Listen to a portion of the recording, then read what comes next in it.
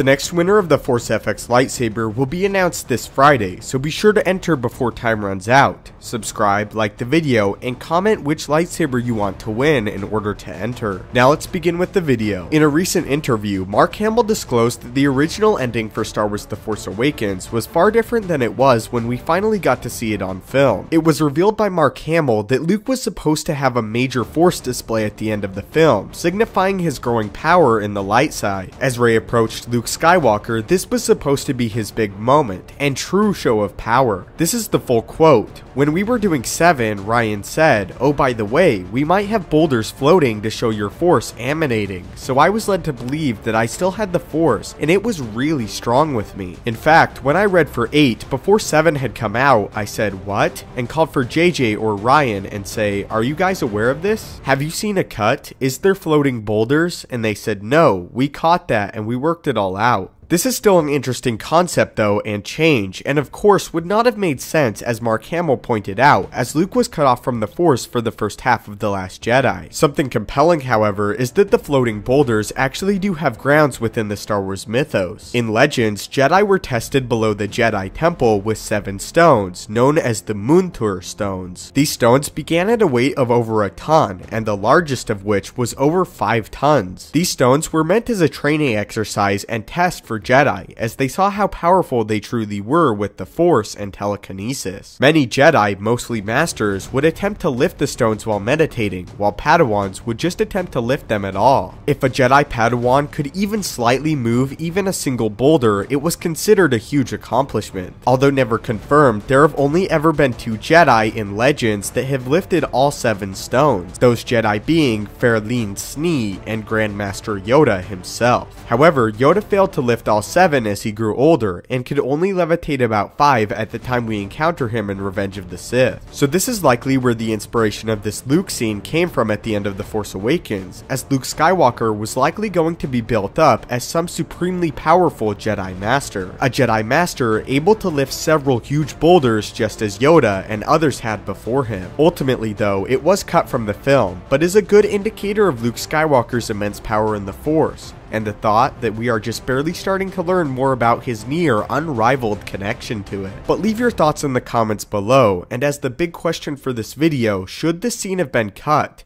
And should Luke Skywalker have cut himself off from the Force? Also, based off of this, how powerful do you think Luke Skywalker truly is? Again, don't forget to enter the lightsaber giveaway and post a comment down below. May the Force be with you, and have a great day.